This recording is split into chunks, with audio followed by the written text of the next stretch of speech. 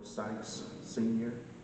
And uh, we know that the Lord gives, the Lord takes, but blessed be the name of the Lord. Family, we're praying for you, especially at a grievous time like this. Not only dealing with the aches and the pains and the suffering that comes from this time of quarantine and uh, seeing suffering all over the world, but also uh, it's now touched close to home uh, with the loss of our brother. But we recognize the fact that we've weeping endures for the night. But we're thankful the scripture tells us that joy comes in the morning. At this time, we're going to open and we're going to prepare with uh, an opening selection by our brother, uh, Mr. William Ray, this time.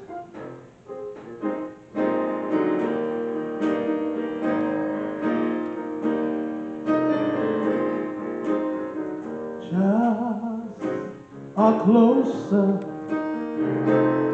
walk with thee.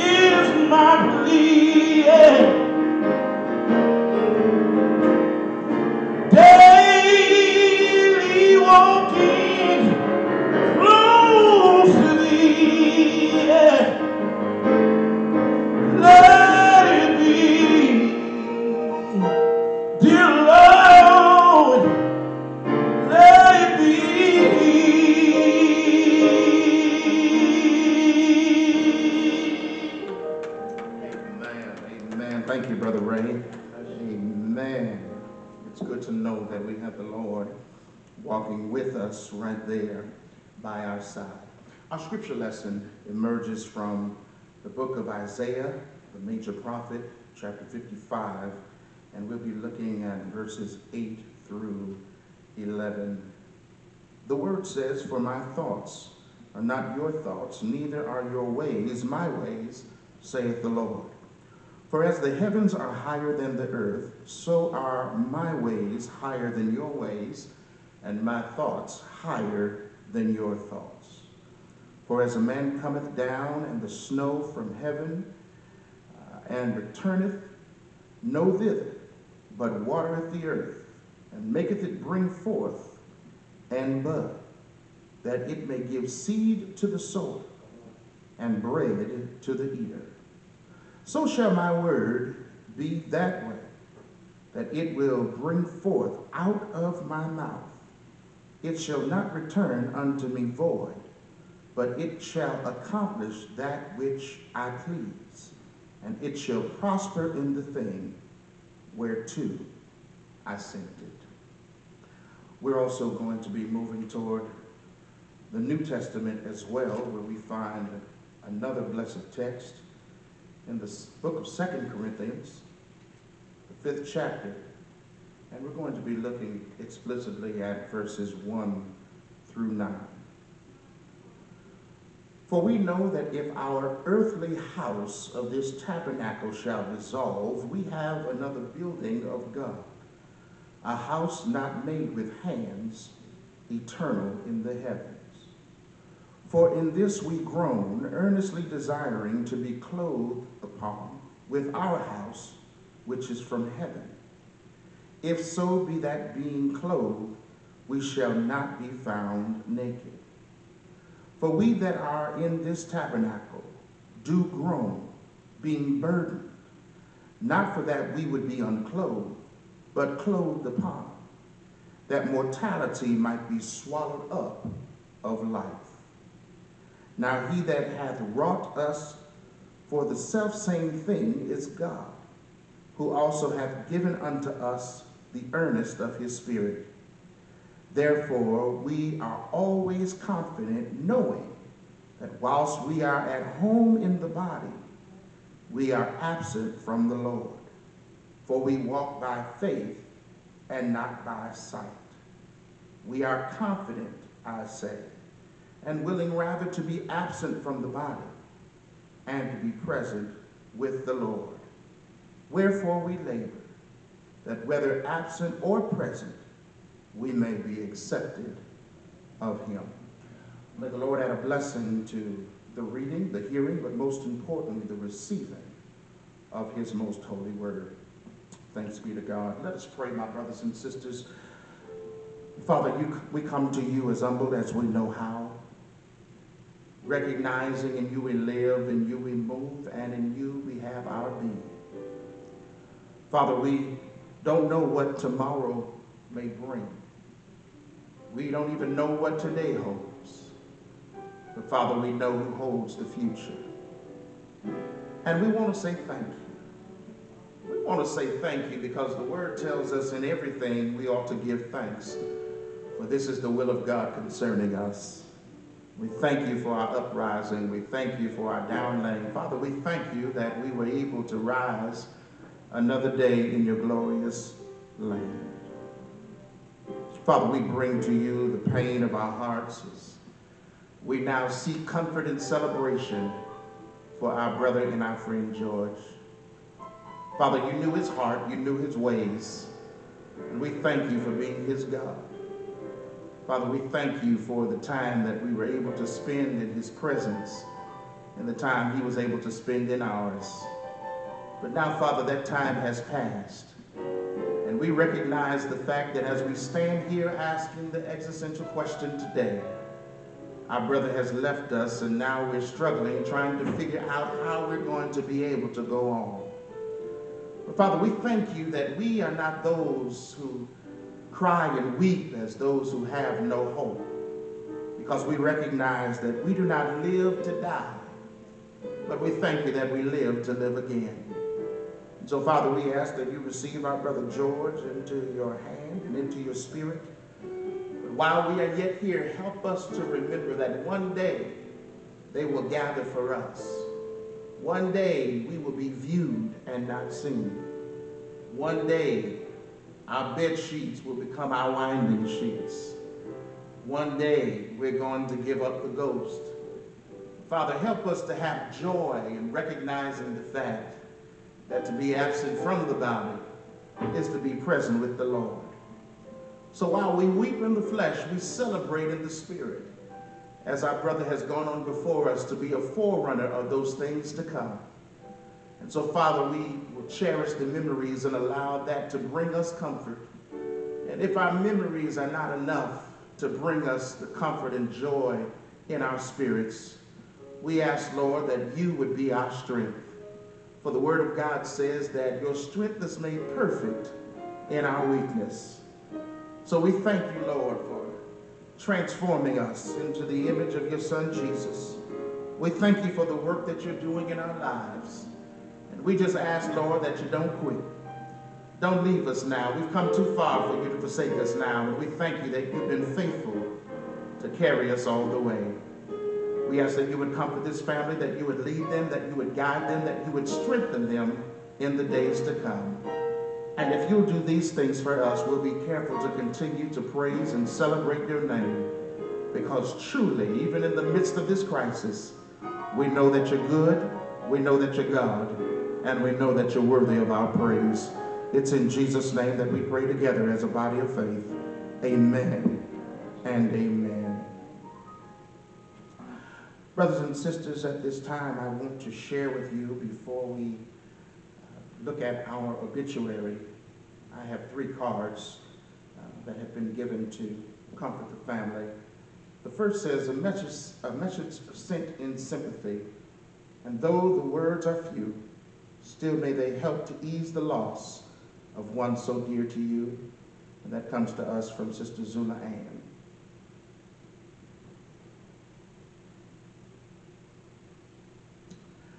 Praying you'll be comforted with precious memories and God's presence to care for you in your loss with sympathy.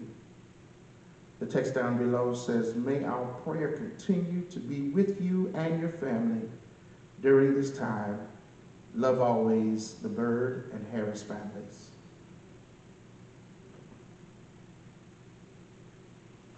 And then there's a card from Perry Brown Funeral Service that says, Thank you for allowing the staff at Perry J. Brown Funeral Service to assist your family during a difficult time of need. And that's presented by Brother Charles Koo, owner and director. Let's turn our attention to the obituary for a silent reading, and then Brother Ray will bless us with another selection.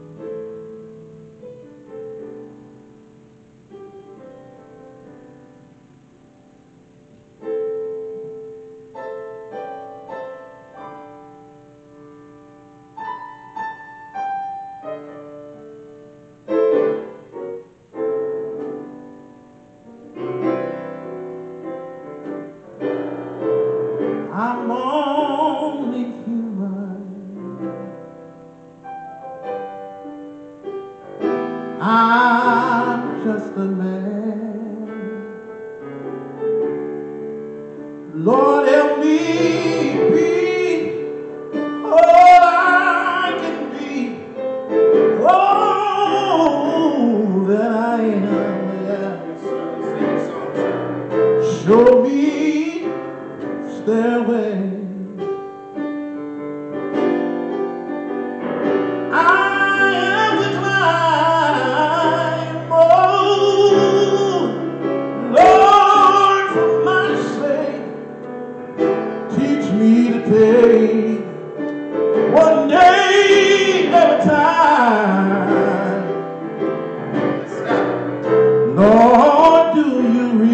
remember?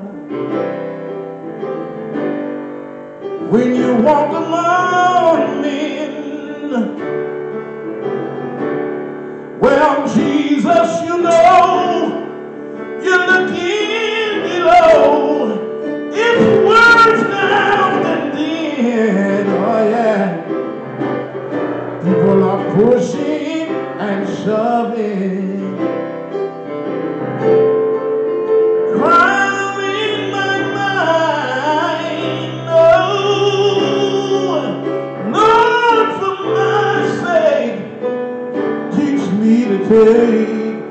one day at a time.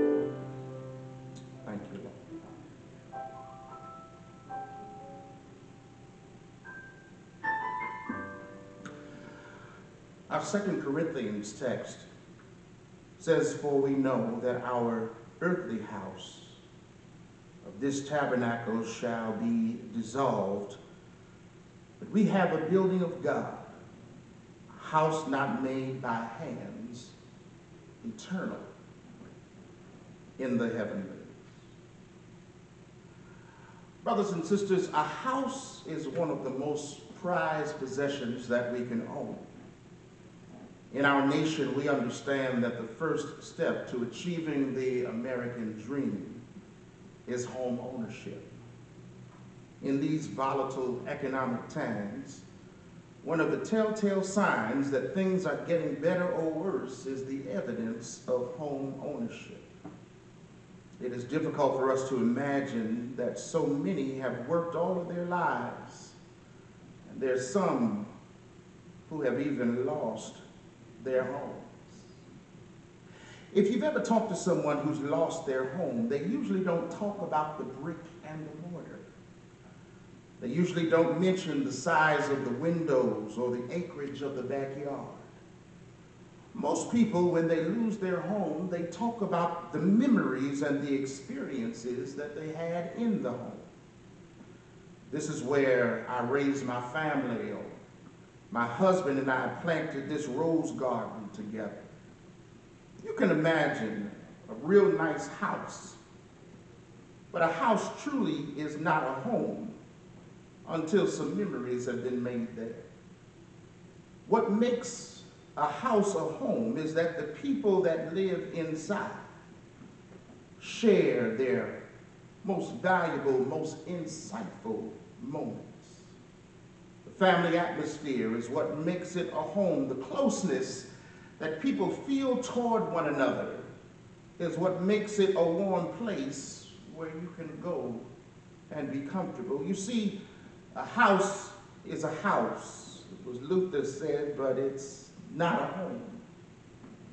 If there's no one that is waiting there for us, what's the difference? A home is where somebody puts up with you. Uh, a house is just a shell, a showplace, a facade.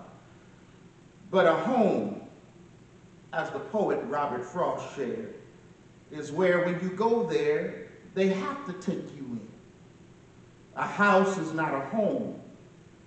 Here, the poet who says it takes a heap of living to turn a house into a home. You see, most of us are about the business of trying to build an earthly home. Some, some folks try to build the home in their physique. They want to strengthen this outward facade that we have. But the Bible tells us in 1 Corinthians, do you not know that your body is the temple of the Holy Ghost who lives in you, whom ye have received of God, who is not your own? You are not your own. You've been bought with a price. Therefore, we're building it as we think for ourselves, but yet we must be building for God's sake. Why? Because he is the ultimate owner. There's some folk who try to build their own reputations. They get busy trying to build their own legacy.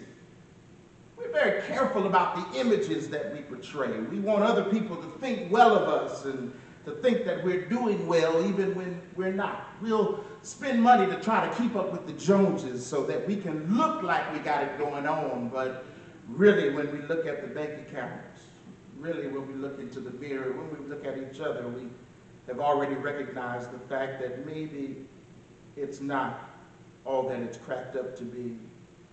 We want to be esteemed by our community. We want to be respected by our families. We want to be regarded by our neighbors. We want to build a reputation, but we recognize the fact the song tells us that time is filled with swift transitions.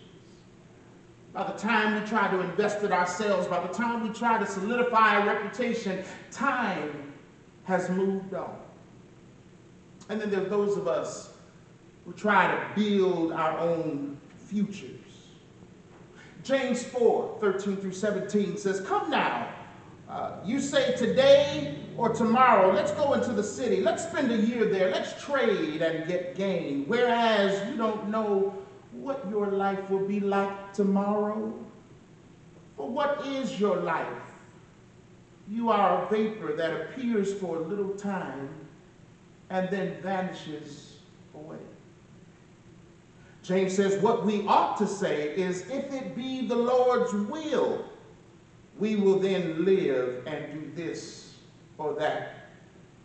We glory in our own boasting at times, but he tells us all of our boasting, all of our trying to get reputation, all of our trying to build ourselves, all of us trying to secure our own future is for naught.